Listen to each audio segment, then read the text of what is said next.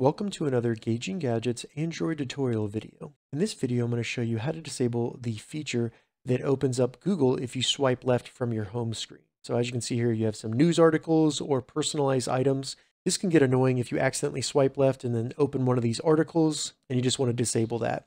So to turn off the swipe left to open the Google app on your Android phone, the first thing we need to do to get started is simply long press an empty area of our home screen. So just long press it until the menu comes up and then in the menu, select Home Settings.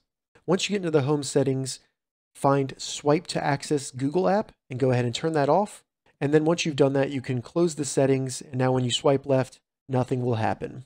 All right, so that's how you disable swipe left for the Google News feed on your Android phone. If you have any questions about this, leave a comment below. I'll get back to you as soon as I can. If you'd like to see more Android or Google tutorial videos, check the links in the description.